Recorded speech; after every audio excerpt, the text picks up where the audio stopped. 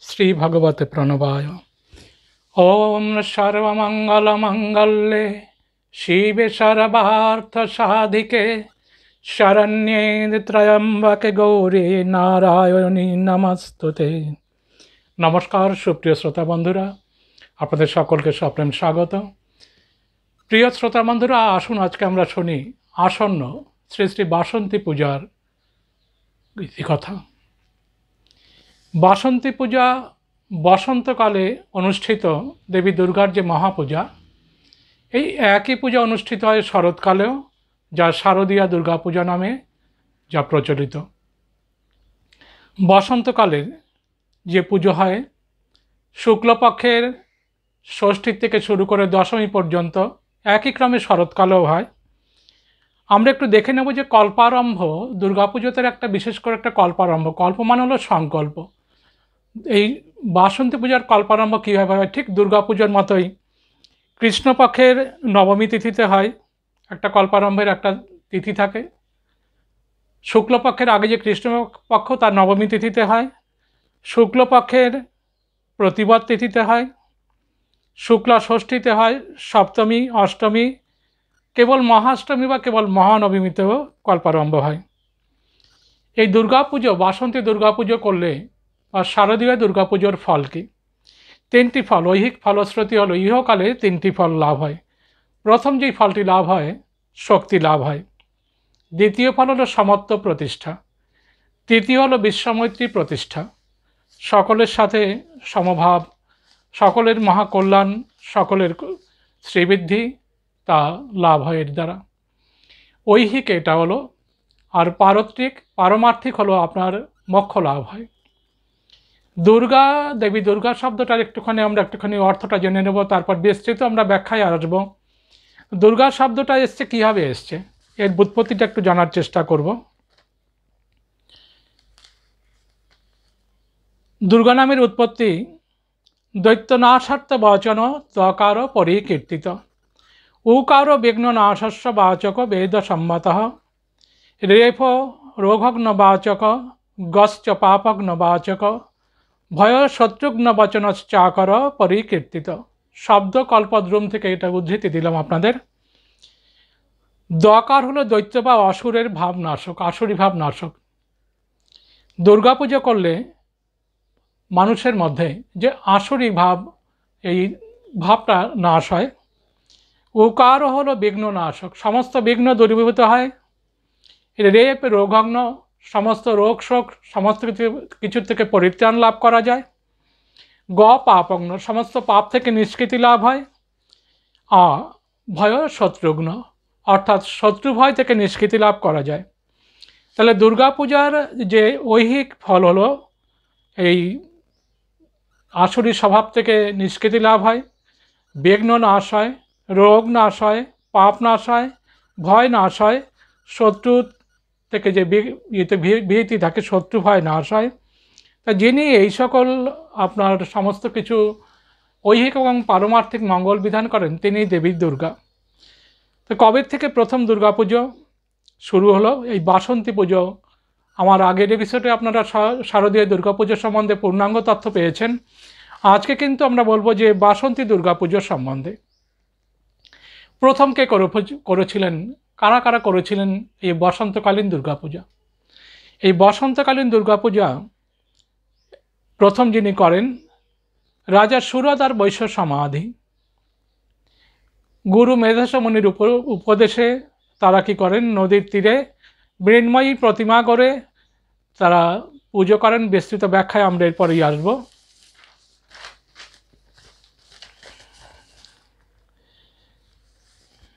দেবী দুর্গার যে আপনার শ্রী শ্রী মার্কণ্ডীয় পুরাণের অন্তর্গত যে চণ্ডী চণ্ডী মহাগ্রন্থের মধ্যে আপনার দেখব আমরা তিনটে চরিত্র। প্রথম চরিত্র, মধ্যম চরিত্র, উত্তর চরিত্র। প্রথম চরিত্রে দেবী তামসী মূর্তিতে তার নাম, দেবীর নাম মহাকালী। রাজস্বী মূর্তিতে মধ্যম চরিত্র দেবী মহালক্ষ্মী। আর উত্তর চরিত্রে দেবী মহা সরস্বতী সাত্বিকী মূর্তিতে। এই তিনটে চরিত্রের বিস্তর ব্যাখ্যা আছে। দুর্গাপূজাকে বলা হয় কলির অশ্বমেধ। মহিষাসুরের দ্বারা যখন নাকি রাষ্ট্রীয় অধিকার থেকে ভ্রষ্ট এই দেবতারা অবর্ণনীয় দুঃখ দুর্দশার মধ্যে যারা পতিত হয়েছেন, এই দেবতাদের সমষ্টি শক্তির রূপিণী দুর্গাদেবীকে নিজ নিজ ভূষণ, বাহন, অস্ত্র দিয়ে সকলে সজ্জিত করলেন। আর তখন এই দেবী কী করলেন মহিষাসুরকে বধ করলেন। দেবী মহিষমর্দিনের আবির্ভাবের এই ফলে কী হলো? প্রবল পরাক্রান্ত মহিষাসুর বিনাশ হলো। দেবতারা তাদের অধিকারকে আবার ফিরে পেলেন। তা আমরা একটুখানি দেখে নেব যে এই রাজা সুরত এবং বৈশ্য সমাধির কথা একটুখানি যাব। রাজা সুরত আর বৈশ্য সমাধি চণ্ডী গ্রন্থে খুব সুন্দর করে আপনার বর্ণনার বিস্তৃত বিবরণ আছে। একটুখানি আমরা দেখার চেষ্টা করব। মার্কণ্ডীয় পুরাণ মতে সূর্যপুত্র সাবর্ণিক মনু হলেন অষ্টম মনু। তার যে জন্ম বৃত্তান্ত এই জন্ম বৃত্তান্তই হলো এই চণ্ডীগ্রন্থের মূল প্রতিপাদ্য বিষয়। সরচিষ মন্বন্তরে চৈত্রবংশের সুরত নামে এক রাজা জন্মগ্রহণ করেন। তিনি তার বিস্তৃত রাজ্যের অধিপতি হন। তা তিনি বিস্তৃত রাজ্যের অধিপতি ছিলেন বটে, কিন্তু সকলেরই শত্রু থাকে, রাজাদেরও শত্রু থাকে, প্রতিবেশী রাজারা, এই জবন রাজারা ছিলেন তার শত্রু কোলাবিধ্বংসী নৃপতিগণ তারা শত্রু ছিলেন। বিশাল সেনাপতি, সে সৈন্যের অধিপতি হয়েও একসময় দেখা গেল যুদ্ধে তিনি প্রতিবেশী এই কোলাবিধ্বংসী জবনরাজের কাছে তিনি পরাজিত হলেন। চিরকাল কারও সৌভাগ্য, কারও সুকৃতি সুদিন চিরকাল কারও থাকে না। চক্রবাত পরিবর্তনতে সুখানিচ দুঃখানিচ সুখ দুঃখ ক্রমান্বয়ে পরিবর্তিত হয়ে জীবনে আসে, প্রত্যেকের জীবনেই আসে। দুঃখের সময় ভেঙে পড়তে নেই। দুঃখের মাধ্যমেই কি হয়, দুঃখের সময়ই কি হয়, আমরা প্রকৃত বন্ধুকে চিনতে পারি। ঈশ্বরের প্রতি নির্ভরতা আসে ভগবত শরণাগতি আসে। আমরা দেখব যে রাজা সুরতের জীবনে ঠিক যে জিনিসটা এসেছিল। রাজা সুরত কি করেছেন? কোলাবিধ্বংসী জবান রাজার কাছে পরাজিত হয়েছেন। হয়ে তিনি ফিরে এসেছেন নিজের রাজ্যে। নিজের রাজ্যের মন্ত্রী পরিষদ অমাত্যরা, সচিবরা, এরা সকলে মিলে কী করেছে? রাজার কোষকে, ধনাগারকে সবাই লুণ্ঠন করেছে। রাজা কি করলেন তখন? একটা কথায় বলে, আপন হতে পর ভালো, পর হতে জঙ্গল ভালো। তো এটা মানে বহুল প্রচলিত, এটা আপনার ইয়েতে কথা। রাজা কী করলেন? মৃগাচ্ছলে রাজা সুরত একদিন জঙ্গলে পৌঁছে গেলেন। জঙ্গলে গিয়ে তিনি ইতস্তত ভ্রমণ করছেন। রাজা সুরতের কিন্তু মূল উদ্দেশ্য কিন্তু মৃগয়া ছিল না। মূল উদ্দেশ্য ছিল যে একদম রাজধানী তিনি পরিত্যাগ করবেন। এখন নিঃস্ব হয়ে গেছেন। সেনাবল বিধ্বস্ত হয়ে গেছে। রাজকোষ ক্ষতিগ্রস্ত হয়েছে যুদ্ধে। এবং যেইটুকু অবশিষ্ট ছিল তাও সচিবরা মন্ত্রী পরিষদ, এরা সকলে মিলে কী করেছে? নিজেরা মধ্যে ভাগ বন্টন করে একদম নিঃস্ব অবস্থায় রাজার সুরতকে বাধ্য করেছে রাজ্য ত্যাগ করতে। তিনি যখন এরকম আছেন, গভীর জঙ্গলে প্রবেশ করেছেন, অদূরেই মেধস মনির আশ্রম, মেধা মনির আশ্রম অদূরেই, সামনে কুলুকুলু শব্দে বয়ে যাচ্ছে পবিত্র নদী।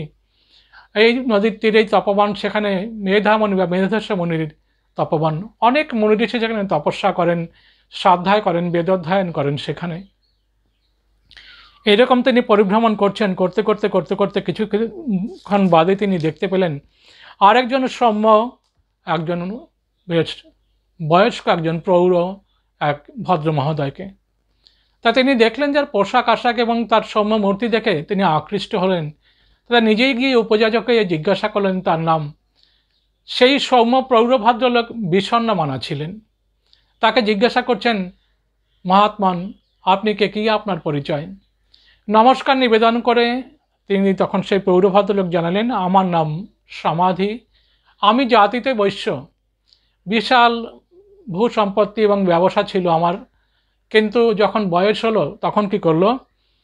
এই আমার পত্নী, পুত্র, কন্যা, জামাতা, নাতি, নাতিরা আমার সমস্ত সম্পদকে অপহরণ করে, আমাকে নিঃস্ব করে আমাকে থেকে বাধ্য করে। আচার্য শঙ্কর খুব সুন্দর করে বলছেন, যাবৎ বিত্ত উপার্জন শক্ত, তাবৎ নিজ পরিবার রক্ত। শ্রোতাবন্ধরা, যতদিন আপনি অর্থ উপার্জন করতে পারবেন, ততদিন পরিবারের সকলে আপনার অনুরক্ত থাকবে, বাধ্য থাকবে। যেদিনকে আপনার, আপনি উপার্জনহীন হবেন, শরীরটি অশক্ত হবে আর উপার্জনে আপনি সক্ষম হবেন না, সবার কাছে আপনি তখন একটা বোঝা হয়ে দাঁড়াবেন।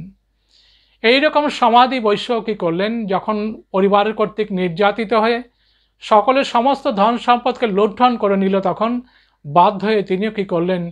ওই আপন থেকে পর ভালো, পর থেকে জঙ্গল ভালো। পরের কাছে গেলেন না। কেন গেলেন না? একসময় সমৃদ্ধ ছিলেন তখন আত্মীয় পরিজন সবাই সম্মান করত, শ্রদ্ধা করত। নিঃস্ব অবস্থায় কার কাছে যাবেন? এই বিবেচনা করে তিনি কি করলেন? জঙ্গলের পথে পা বাড়ালেন তিনি। গভীর জঙ্গলে প্রবেশ করলেন। এসে বিমানা হয়ে বসেছিলেন। হঠাৎ দেখলেন একজন নৃপতি তার কাছে এসছেন। পরিচয়ে, দুজনের পরিচয় দুজনকেই জানালেন। রাজা সুরত আর বৈশ্য সমাধি। বৈশ্য সমাধির সমস্যাটা জানলেন রাজা সুরত বললেন, দেখুন, আমারও তো ঠিক একই সমস্যা। তাই এই একই যখন সমস্যা, তা তখন বলছেন যে, আপনাকে বিমানা দেখছি কেন? রাজা সুরত সমাধি বৈশ্যকে বললেন সমাধি বৈশ্য বলছেন, দেখুন রাজন, আমার পত্নী, পুত্র, কন্যা, জামাতা পৌত্র, পৌত্রী, এরা সকলে নাতি নাতনি, সকলে আমার সম্পদকে ভাগ করে নিয়েছে। কিন্তু আমি তাদের প্রতি আমার স্নেহ, তাদের প্রতি আমার যে ভালোবাসার কিন্তু কোনো তাদের ব্যাঘাত হয়নি। আমি জঙ্গলে এসেও ভাবছি যে আমার এই যে এত কষ্ট, উপার্জিত ধন, সম্পদ, তারা ঠিকমতো এগুলো সব ব্যবহার করছে কিনা? না, তারা সব নষ্ট করে ফেলল। তারা কুশলে আছে কিনা? কেমন আছে তারা? তারা নিরাময় মানে রোগহীন আছে কিনা? আমি নিত্য নিরন্তর শুধু তাদের কথাই চিন্তা করছি জঙ্গলে এসো।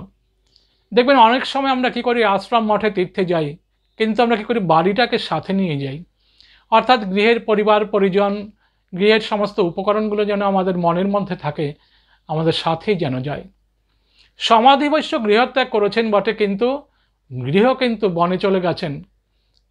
একটা কথা লীলা মজুমদারের একটা পড়েছেন হয়তো, যে বন থেকে জানোয়ার তুলে আনা যায়, কিন্তু জানোয়ারের মন থেকে বনকে তুলে ফেলা যায় না। গৃহ ত্যাগ করা যায় কোনো কারণে হয়তো বাধ্য হয়ে আমরা গৃহত্যাগ করতে, কিন্তু দেখবেন অনেক সময় যদি নাকি আকর্ষণ থাকে, পরিবার, পরিজনের প্রতি যদি মোহ থাকে, যদি মমতা থাকে, তাহলে কী করে গৃহকে কিন্তু ত্যাগ করা যায় না। গৃহ কিন্তু আমাদের সাথেই আসে। ঠিক যেটা হয়েছিল সমাধি বৈশ্যের জীবনে, তিনি তখন বলছেন রাজা সুরতকে যে এইটা কেন হয়? তারা আমাকে বিতাড়িত করেছে, তারা আমাকে লাঞ্ছিত করেছে, আমাকে প্রতারিত করেছে, কিন্তু তাদের প্রতি আমার কেন এত মমত্ব, কেন তাদের প্রতি এত আমার ভালোবাসা, তাদের প্রতি কেন কর্তব্য তো আমার কেন? ঠিক এই রকম সমস্যা রাজা শুরুতে বললেন, আমারও তো সেই একই সমস্যা। প্রথমে যমন রাজার কাছে পরাজিত হলাম যখন ফিরে আসলাম, দেখি কোষাগার শূন্য।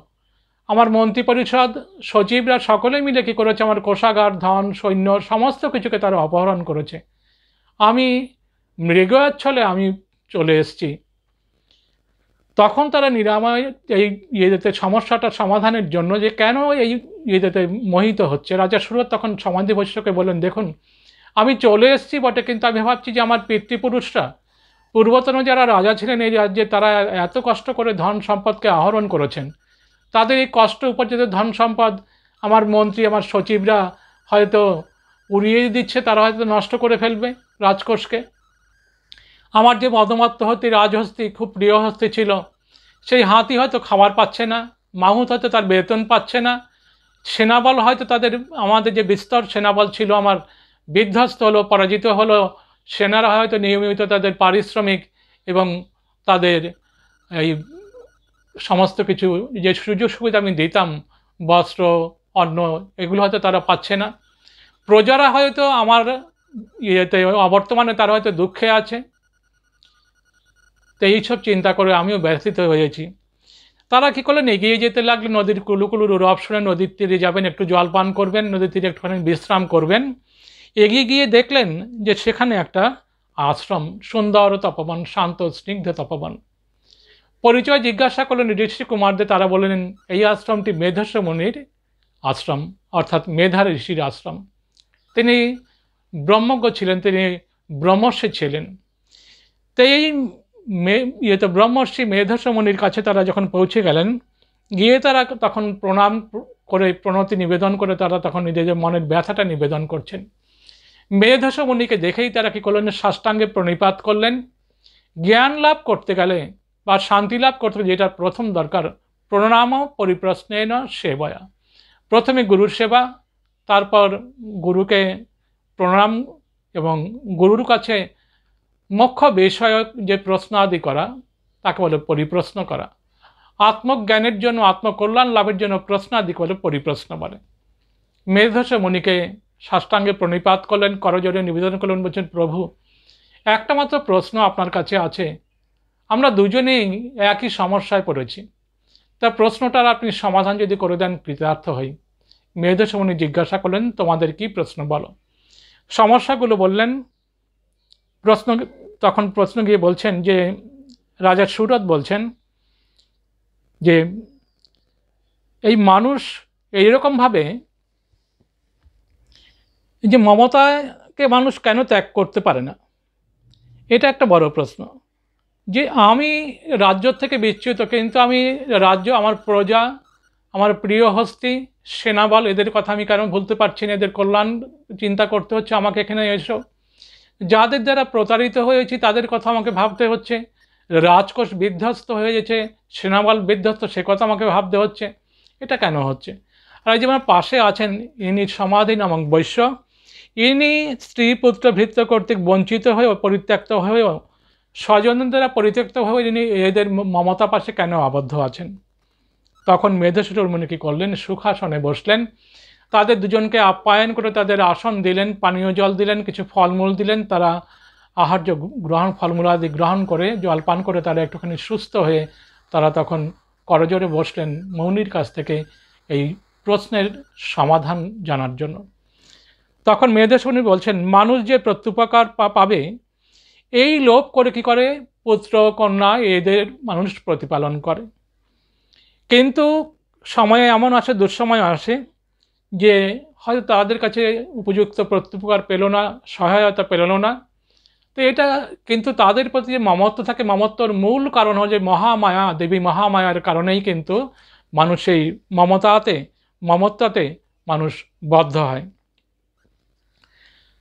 পাখিমা, নিজে কি করেন খাবার সংগ্রহ করে পাখিমা এসে শাবককে খাওয়ায়? জানে যে আমার পেটটা ভরবে না, খিদে লাগবে, কিন্তু তবু মমত্ব বসে সন্তানকে প্রতিপালন করে। তো এইরকম প্রত্যেকে কি করি? আমরা এই মমত্ব বসে আমাদের এই কর্তব্যগুলোকে পালন করি।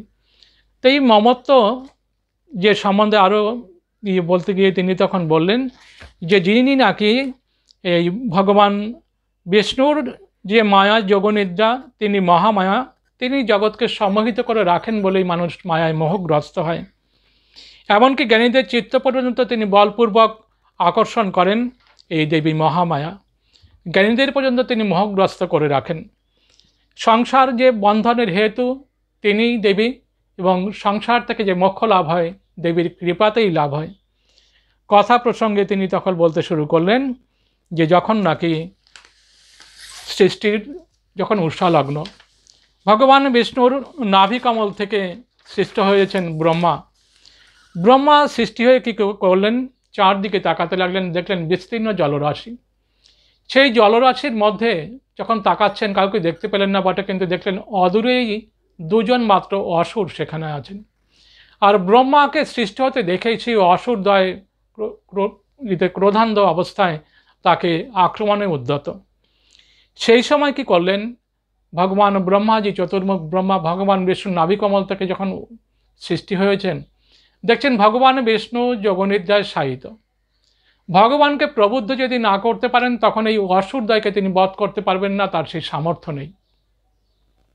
ভগবান বিষ্ণুকে প্রবোধিত করার জন্য কি করলেন? তখন তিনি দেবী মহামায়ার, তিনি স্তব করলেন, স্তুতি করলেন প্রথম অধ্যায়তে পেয়ে যাবেন, তং সোয়া তং সোয়া তং হি বসৎকার সরাত্মিকা দেবীকে বিস্তর স্তুতি করলেন। স্তুতির ফলে কি হলো? তো এই মধু কৈটবের যে উৎপত্তি হয়েছিল ভগবান বিষ্ণুর কর্ণমল থেকে, কানের ময়লা থেকে।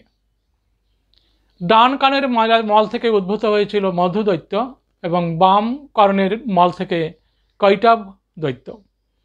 তো যখন ভগবান ব্রহ্মা যখন নাকি দেবী মহামায়ার যখন স্তুতি করলেন, তখন দেবী কী করলেন? এই ভগবান বিষ্ণুর যোগনিদ্রা ভঙ্গের জন্য ভগবান শ্রী বিষ্ণুর নেত্র, মুখ, নাসিকা, বাহু, হৃদয় এবং বক্ষস্থল থেকে নির্গত হয়ে তখন তিনি ভগবান ব্রহ্মাজিকে তিনি দর্শন দিলেন। দেবী বিষ্ণুকে তিনি প্রবুদ্ধ করলেন। প্রবুদ্ধ করার পর তখন ভগবান বিষ্ণু যখন যখন যোগনিদ্রার থেকে যখন জাগরিত হলেন, তখন কী করলেন ভগবান বিষ্ণু? জাগরিত ব্রহ্মাকে দেখলেন, ব্রহ্মা সমস্যার কথা বললেন মধুকৈটপের কথা বললেন। পাঁচ হাজার বছর বাহুযুদ্ধ হলো মধুকৈটবের সাথে ভগবান শ্রী বিষ্ণুর। তো কেউ কারও কাছে পরাজিত হন না। একদম শেয়ানে শেয়ানে মানে সবলে সবলে আর কি। তো এইরকম দীর্ঘ বাহুযুদ্ধের পর তখন কি করলেন? ভগবান শ্রী বিষ্ণুকে তখন এই যেই দেবী মহামায়া ভগবান শ্রী বিষ্ণুকে তিনি যোগনিদ্রায় সাহিত্য রেখেছিলেন সেই দেবী মহামায়াই কী করলেন তিনি তার শক্তিকে প্রয়োগ করলেন মধু কৈটাপের মধ্যে মধু কৈটাপ তখন মোহিত হয়ে গেছেন দেবী মহামায়ার মায়াতে মোহিতে ভগবান বিষ্ণুকে বলছেন যে আপনার সাথে যুদ্ধ করে করাও খুব শ্লাঘনীয় আপনার সাথে যুদ্ধ করে আমরা খুব পরিতৃপ্ত হয়েছি জগতে এই রকমের বীর মহান বীর আর কাউকে দেখি না আপনার মতো। তা আপনাকে আমরা খুব সন্তুষ্ট হয়েছি আপনার সাথে দীর্ঘ পাঁচ হাজার বছর বাহুযুদ্ধ করে একটা বর প্রদান করব আপনাকে। আপনি আপনার ইচ্ছে মতো মনোমতো একটা বর আপনি চেয়ে দিন ভগবান শ্রী বিষ্ণু স্মিত হাস্যে বলেন, দেখুন, যার কর্ণমল থেকে উৎপত্তি এই দুই দৈত্যের, সেই দৈত্যই কিনা তার স্রষ্টাকে কী করছেন? বর দিতে চাইছেন। ভগবান বিষ্ণু স্মিত হাস্যে বললেন, আর অন্য বরের কি প্রয়োজন? তোমরা দুইজন দৈত্য আমা কর্তৃক, অর্থাৎ আমার দ্বারা তোমরা বদ্ধ হও। আমি তোমাদের দুজনকে বধ করতে চাই। মোহিত হয়ে গেছেন দেবী মহামায়ের মায়াতে। মধু কয়টা বর প্রদান করুন, করবেন বলেছেন, কি করে নিজের সেই কথার ফাঁদে নিজেই জড়িয়ে পড়লেন? তখন বলেন, ঠিক আছে, আমরা তোমার দ্বারা বদ্ধ হব, কিন্তু যেখানে জল নেই। মধু কৈটব দেখছে সর্বত্র জলমগ্ন। তখনও সৃষ্টির বিকাশ হয়নি। সবে পিতামহ ব্রহ্মা সবে সৃষ্ট হয়েছেন, সৃষ্ট হয়ে তিনি তখন সংকল্প করবেন, তারপরে সৃষ্টির বিকাশ সম্ভব হবে। বলেন যেখানে জল নেই, সেখানে রেখে আপনি আমাদের দুজনকে বধ করুন। তা মধুকৈটা ভেবেছিল যে জলমগ্ন সমগ্র ধরাতল কোথায় বা আমাদের রাখবেন? জলের স্থান কোথায়? ভগবান কি করলেন? দুই দৈত্যকে দুই জঙ্ঘা মানে উরুর ওপরে রেখে দুইজনকে তিনি চক্র দ্বারা বধ করলেন।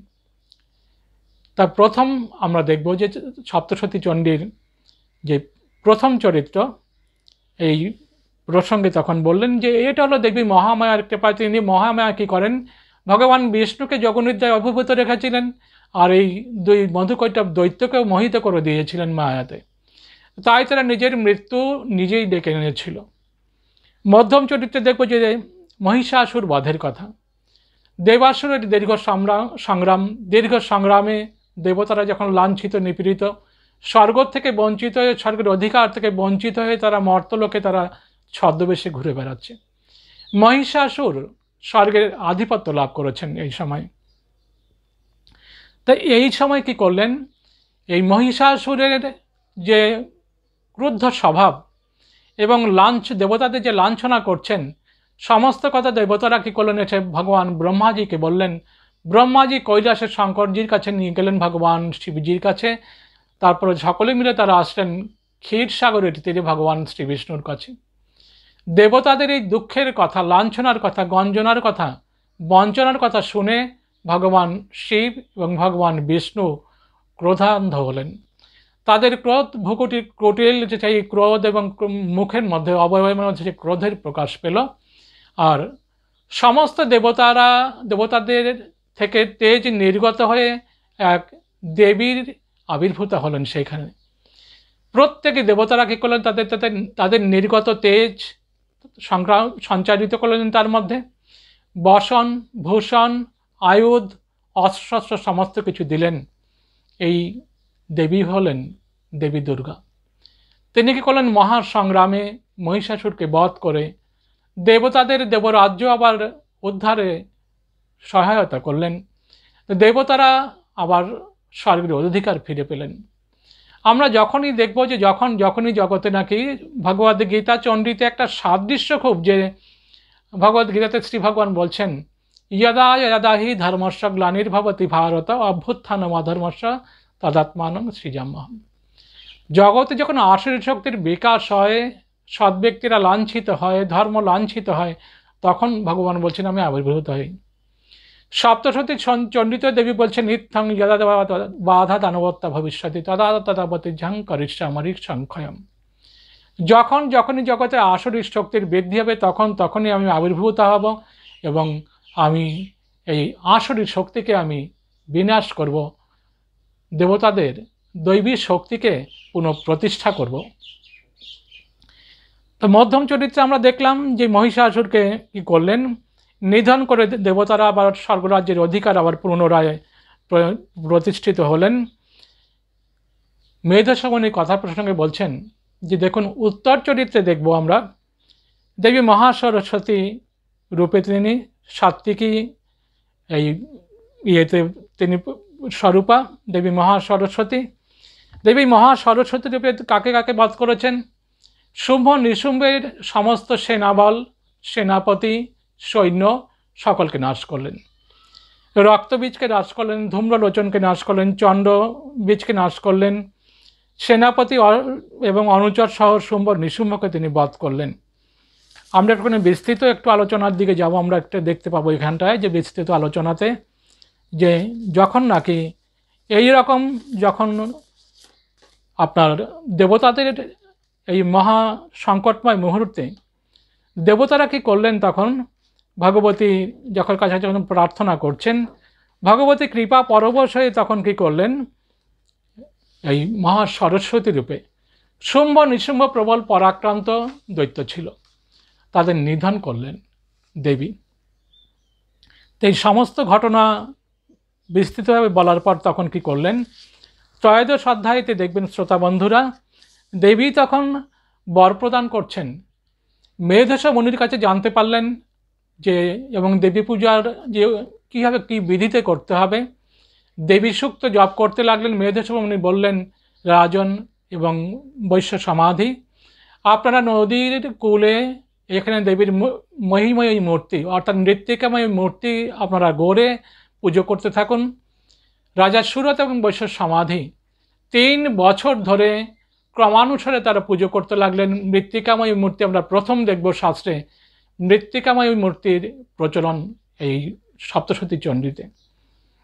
তারা কখনো উপবাস করছেন? সংযত, ইন্দ্রিয় সংযত মনা হয়ে কী করছেন? কখনো উপবাসে, কখনো বা সামান্য ফলমূলাদি দিয়ে আহার করছেন? এবং যোগস্থ অবস্থায় তারা দীর্ঘ তিনটি বছর তারা দেবী মহামায়ার কৃপালাভের জন্য তারা আরাধনা করলেন। নৃত্য তারা দেবীসুক্ত তারা জপ করতেন। তো এই সময় কি করলেন? এই রাজার সুরত এবং বৈশ্য সমাধি মেধসমণিকে প্রণাম করে নদী পুলনে গিয়ে তারা বনের ফলমূল যা পেতেন এবং ফুল, ধূপ, চন্দন যাই পাওয়া যেত, তাই দিয়ে দেবীর পুজো করতে লাগলেন সমাহিত অবস্থায় দীর্ঘ তিন বছর। এই রকম দীর্ঘ তিন বছর পুজো করার পর দেবী সন্তুষ্ট হলেন, দেবী তৃপ্ত হলেন। তারপরে দেবী কী করলেন? এই সময় তারা নিজের রাজা সুরতার বৈশ্য সমাধি। যজ্ঞর সময়ে, পুজোর সময় কোনো হিংসে করতে নেই। নিজের বক্ষ রক্ত বেলপাতার মধ্যে অর্পণ করে দেবীকে পরিতুষ্ট করার জন্য তিনি করলেন? এই রাজশ্রী যে অহংকার, অহংকারকে বিসর্জন দিলেন দেবীর শ্রী পাদপদ্মে দেবী সন্তুষ্ট হলেন তিন বছর কঠোর সাধনার ফলে। তখন দেবী আরাধনার ফলে জগদ্ধাত্রী চণ্ডিকা তুষ্ট হয়ে তখন আবির্ভূত হলেন এবং বর প্রদান করলেন রাজা সুরতকে বলছেন, দেবী, আবির্ভূত হয়ে রাজন, তুমি বর প্রার্থনা করো রাজা সুরত তখন চাইলেন যে, যেই রাজ্য আমি হারিয়েছি, সেই রাজ্য উদ্ধার করব। এবং পরবর্তী সময়ে যেহেতু তার রজগুণ ছিল, রাজা যেহেতু রজগুণী, আমি যেন একটা, এমন একটা রাজ্যের অধীশ্বর হই, যেই রাজ্য কোনোদিন কোনো শত্রুর দ্বারা আক্রান্ত হবে না, কোনো শত্রুর দ্বারা পরাভূত হবে না সেই রকম একটা রাজ্য আমি চাই। দেবী তখন সেই রকম বরই প্রদান করলেন। বর প্রদান করে বলছেন যে, তুমি অচিরেই তুমি তোমার ঋতরাজ্যকে উদ্ধার করতে পারবে এবং বহু জন্মের পর তুমি সাবর্ণী মনু হয়ে পৃথিবীতে তুমি জন্মগ্রহণ করবে। রাজা সুরতকে বর দিলেন। রাজা সুরতে কিন্তু সাবর্ণী মনু হয়ে জন্মগ্রহণ করলেন। এই এখন যেই মন্বন্তর চলছে তা, সেই মন্বন্তর হলো সাবর্ণী মন্বন্তর রাজা সুরত সাবর্ণী হয়ে জন্মগ্রহণ করেছিলেন, সেই মন্বন্তর এখন চলছে। সাবর্ণী মন্বন্তরের আঠাশতম কলিযুগের প্রথম চরণ এখন চলছে। আর সমাধি বৈশ্যকে বর প্রদান করতে চাইলেন দেবী মহামায়া। তখন সমাধি বৈশ্য সাত্ত্বিক গুণের বিকাশ হয়েছিল। তিনি তখন বললেন যে, দেবী, আমি আপনার কাছে শুধু তত্ত্বজ্ঞান প্রার্থনা করি আমাকে আপনি যাতে আশীর্বাদ করুন যেন আমার সমস্ত বিষয়ের প্রতি আসক্তি দূর হয় এবং তত্ত্বজ্ঞান প্রদান করুন, আপনার শ্রীপাতাপাতে যেন আমার ভক্তি চিরস্থায়ী হয়। দেবী সেই বরই প্রদান করলেন। পরাসিদ্ধি মুক্তি লাভ করার জন্য তোমার বিবেক জ্ঞান তত্ত্বজ্ঞান তোমার জন্মাবে। তোমাকে আর জন্মগ্রহণ করতে হবে না সেই বরই প্রদান করলেন। বাসন্তী পুজো প্রথম যিনি শুরু করেন, এই রাজা সুরত এবং বৈশ্য সমাধি। শরৎকালে যেই পুজো করেছিলেন, দেবী দুর্গার সেই একই পুজো, শুধুমাত্র ক্রমের মধ্যে একটা জায়গায় একটু শুধু পার্থক্য। বসন্তকাল যেহেতু উত্তরায়ণের সময়, দেব উত্তরায়ণ দেবতাদের দিবার সময় দক্ষিণায়ন দেবতাদের বিশ্রাম সময়, রাত্রির সময়। উত্তরায়ণের দিবার সময়ে দেবতারা জাগরিত থাকেন, শুধুমাত্র ষষ্ঠীর দিন সন্ধ্যের সময় যে বোধন হয় শরৎকালে, বাসন্তী পুজোয় শুধু বোধন হয় না। এছাড়া সমস্ত পুজোর ক্রম সবই এক। সমস্ত পুজোটা একইভাবে হয়। তা আমরা একটুখানি দেখে নেব যে এই বাসন্তী পুজোতে আমি আগেই আপনাদের বললাম যে কল্পারম্ভের কথাতে বিস্তৃত বললাম যে কীভাবে কল্পারম্ভ হয়। এই প্রথম আপনার পুজো যেটা হয়, ষষ্ঠীর দিন বাসন্তী পুজোতে অধিবাস এবং আমন্ত্রণ তো এই অধিবাস এবং আমন্ত্রণ ক্রিয়াটা কি করা হয় সন্ধ্যের সময় ষষ্ঠীর দিনে অনুষ্ঠিত হয় বেলবৃক্ষের নিচে এই ক্রিয়াটা কিন্তু হয় যেখানে বেলগাছ পাওয়া যায় না একটা বেলগাছের ডাল আনতে হয় সেখানে এনে সেই যেখানে মণ্ডপে এনে সেখানে পুজো করতে হয় সপ্তমী অষ্টমী নবমী তিন দিনে সাড়ম্বরে দেবীর পুজো হয় সপ্তমীতে নবপত্রিকার মহা স্নান হয় দেবীর চক্ষুদান প্রাণ প্রতিষ্ঠা ষোড়শোপচারে পূজন হয়। অষ্টমীতেও একই ক্রমগুলো শুধুমাত্র থাকে। হোম হয়, অষ্টাদির পূজা হয়, আবরণ দেবদেবীদের পূজা হয়, চৌষট্টি যোগিনীর পূজা হয়, সন্ধি পুজো হয়, অষ্টমী, নবমীর সন্ধিক্ষণে। কুমারী পুজো হয়, নবমীতে হোম হয়। আর ঠিক দুর্গাপুজোর মতোই, শারদীয়া পুজোর মতোই নবপত্রিকার পুজো হয়। শ্রোতাবন্ধুর একটু জেনে নেব যে আমরা এই নবপত্রিকা কী? বিজয় লাভের কামনাতে কি হয়? দশমীর দিন দেবীর বিসর্জনের পর অপরাজিতা পুজো হয়। নবপত্রিকা সম্বন্ধে একটুখানি আমরা জানার চেষ্টা করব। কি কি নবপত্রিকা? রম্ভা কচ্চি হরিদ্রাচ জয়ন্তী বিলদারিম্বৌ অশোক মানস মানকশ্চৈব ধান্যঞ্চ নবপত্রিকা। এক একটা যে এই যে সমস্ত গাছগুলোতে এক একজন দেবীর অধিষ্ঠানকে ভাবনা করা হয়। কলা গাছে যেমন ব্রাহ্মণী, কচু গাছে কালিকা, হলুদ গাছে দুর্গা, জয়ন্তী বৃক্ষে কার্তিকী বিল্ল বৃক্ষে শিবা, ডালিম মানে দারিম্ব ডালিমের বৃক্ষে রক্তদন্তিকা। অশোক বৃক্ষে শোকরহিতা। মানকচু গাছে চামুণ্ডা দেবীর ভাবনা করা হয় এবং ধান দেবী মহালক্ষ্মীর ভাবনা করা হয়। কোনো কোনো জায়গায় আমাদের বাংলাতে শুধু এই ক্রমে পুজো হয়। কিন্তু দেখবেন আপনার উত্তর ভারতে, পশ্চিম ভারতে, দক্ষিণ ভারতে সর্বত্রই কিন্তু নবরাত্রি। দুটো নবরাত্রি, একটা হলো শারদীয়া নবরাত্রি, আমাদের যে শারদীয়া দুর্গাপূজা, এটা হলো বসন্ত নবরাত্রি। সেইখানে আপনার শুক্লপক্ষের প্রতিবাদ তিথি থেকে শুরু করে একদম নবমী তিথি পর্যন্ত দেবীর সাড়ম্বরে দেবীর পুজো করা হয়। এই দিন অবাঙ্গালীরা যারা নবরাত্রি যারা ব্রতটা যারা করেন, তারা আপনার অন্ন গ্রহণ করেন না। সারাদিন উপবাস থেকে পুজো করেন, সপ্তশতী চণ্ডী পাঠ করেন। দিনান্তে দেবীর আরতি করে তবে তারা দুধ, ফল, জল, সামান্য কিছু আহার্য গ্রহণ করেন মাত্র। কিন্তু অন্ন কিন্তু কেউ গ্রহণ করেন না যারা এই ব্রত করেন। তা আমরা একটু জানার চেষ্টা করব যে এই নবদুর্গা কোন তিথিতে কোন দেবীকে পুজো করা হয়। শারদীয় শুক্লা প্রতিবাদ তিথিতে যে, যেই দেবীর পুজো করা হয় তার নাম হলো শৈলপুত্রী। দ্বিতীয় তিথিতে ব্রহ্মচারিণী, তৃতীয় তিথিতে চন্দ্রঘণ্টা, চতুর্থীতে কুষ্মান্ডা পঞ্চমীতে স্কন্দমাতা, ষষ্ঠীতে কাত্যায়নী, সপ্তমীতে কালরাত্রি, অষ্টমী তিথিতে মহাগৌরী, নবমী তিথিতে সিদ্ধিধাত্রী এই দেবীদের পুজো করা হয় প্রকৃতপক্ষে। দেবী দুর্গা শুধু আমাদের, দেখবেন, বাংলা ছাড়া অন্য জায়গাতে শুধুমাত্র সিংহবাহিনী, সেরাওয়ালি বলে বা ব্যাঘ্র বাহিনী মূর্তিরই পুজো করা হয়। কোথাও কোথাও অষ্টভুজা মূর্তি, সেখানে দশভুজা নয়। কিন্তু বাংলাতে দেবী দশভুজা এবং শারদীয়া মূর্তির অনুরূপ। কার্তিক, গণেশ, লক্ষ্মী, সরস্বতী, মহিষাসুর সকলেই থাকেন। তা বিভিন্ন দেবদেবীর আমরা পুজো আমরা কেন এই সাথে কেন থাকে? দেবী যখন আসেন সপার্ষদ একদম সকলে দেবীর পুত্রকন্যা আমরা বলি তাদের কার্তিক, গণেশ পুত্র, লক্ষ্মী, সরস্বতী কন্যা বলি প্রকৃত দেবীরই স্বরূপ লক্ষ্মী, সরস্বতী। তো এদের নিয়ে আসেন। গণপতি হলো জাতির গণশক্তি এবং শ্রমশক্তির প্রতীক। দেবী লক্ষ্মী হলেন ধনদাত্রী বৈশ্য শক্তি পশুপালন, ব্যবসা এবং খনিজ সম্পদের সমৃদ্ধির প্রতীক। ভগবান কার্তিকেয় দেবসেনাপতি তিনি খাত্রশক্তির প্রতীক এবং দেবী সরস্বতী জ্ঞান শক্তির প্রতীক। কোনো সমাজকে যদি সমৃদ্ধ করতে হয়, তাহলে তার মধ্যে বিদ্যা বা জ্ঞান লাগবে। লাগবে জনগণ শক্তি গণশক্তি লাগবে, অর্থ অর্থ লাগবে, বৃত্ত লাগবে এবং লাগবে সমাজকে সুরক্ষা দেওয়ার কথা। দেখবেন প্রত্যেক সমাজ ব্যবস্থার মধ্যে চারটি ব্যবস্থাই বর্তমান। তাই কি করা হয়? দেবীর সাথে কার্তিক, গণেশ, লক্ষ্মী, সরস্বতী সকলেই আসেন। রাজা সুরত এবং সমাধি এই পুজো প্রথম করেন, দীর্ঘ তিন বছর পুজো করেন, একদম তদ্গত চিত্ত হয়ে পুজো করেন তিন বছর।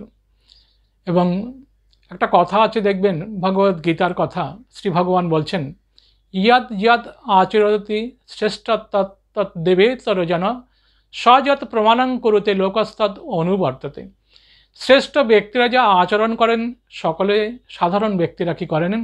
তারাই তাকেই অনুসরণ করেন। রাজা সুরত এবং সমাধি প্রথম যে পুজো করেন এবং রাজা সুরত কি করলেন? অচিরেই রাজ্যের উদ্ধার করে ফেলতে পারলেন এবং জন্মান্তরে বহু জন্ম রাজ্যভোগ করার পর সাবর্ণী মনোহয় জন্মগ্রহণ করলেন। এখন যেই মন্নন্তর চলেছে, চলছে সাবর্ণী মন্নন্তরের আঠাশতম কলিযুগের প্রথম চরণ চলছে এখন। সে তো বারাহ কল্প। আর রাজা সমাধি বৈশ্য কী করলেন? সমাধি বৈশ্য, তিনি কিছুদিন প্রারব্ধ ভোগের পর, তারপর তিনি সমস্ত বিষয় বাসনা তার মধ্যে থেকে বিদরিত হল। দেবীর স্বরূপের জ্ঞান, তত্ত্বজ্ঞানকে তিনি লাভ করলেন, বিষয় বাসনা বিদরিত হয় তিনি কি করলেন? তিনি মোক্ষ লাভ করলেন। শ্রোতা বন্ধুরা, সেই থেকে প্রচলিত হলো সমাজে, এই মানব সমাজে দেবী দুর্গার এই বাসন্তী, অর্থাৎ বাসন্তী মানে বসন্তকালীন যে পুজো, তাই তাকে বলে বাসন্তী পুজো। দেবীর বর্ণ কিন্তু অতসী পুষ্পবর্ণা বা অতসী ফুলের মতো রং। তা বসন্তকালে দেবীর যেহেতু পুজো, তাই দেবীর বাসন্তী পুজো শ্রোতা বন্ধুরা, যাদের সম্ভব হবে, বাসন্তী পুজোর এই কদিন যদি নাকি কাছে কোথাও পুজো হয়, নিশ্চয়ই পুষ্পাঞ্জলি দেবেন, দেবীর কাছে প্রার্থনা করবেন। শুধুমাত্র যে সম্পদ বা সমৃদ্ধি লাভ নয়, তত্ত্বজ্ঞানের প্রার্থনা করবেন, মায়ের চরণে ভক্তি প্রার্থনা করবেন প্রার্থনা করবেন, সমস্ত জগতের মঙ্গল কল্যাণের প্রার্থনা করবেন। সারাটা পৃথিবী আজ উত্তপ্ত। সকলের শান্তির আশায় ছুটে বেড়াচ্ছে, কিন্তু শান্তি কেউ পাচ্ছে না। দেবীর কাছে প্রার্থনা করবেন, সমগ্র পৃথিবী শান্ত হোক, সমস্ত জগতের কল্যাণ হোক, সমগ্র জগতের মানব কল্যাণ লাভ করুক, শান্তি লাভ করুক, সমৃদ্ধি লাভ করুক, দেবীর কৃপাশীর্বাদ সকলের শিরে বর্ষিত হোক। শ্রেষ্ঠ গুরু মহাজের কৃপাশীর্বাদ আপনাদের সকলের শিরে বর্ষিত হোক, সকলের সুখী হোক। সমৃদ্ধিশালী হোক। সর্বে ভবন্ত সুখী না সর্বে সন্ত নিরাময়া। ওম শান্তি শান্তি শান্তি। পুনরায় আপনাদের সকলকে আমার নমস্কার, ধন্যবাদ।